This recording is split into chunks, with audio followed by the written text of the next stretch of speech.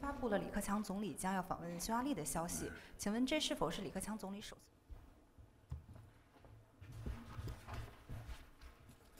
呃，我们也注意到了有关报道。当前半岛局势高度复杂敏感，我们还是希望有关各方都能够多做有利于形势缓和、有利于所有相关各方重回谈判、通过对话协商来解决半岛核问题的正确的轨道，多做这样的一些事情。下一个问题，一带一。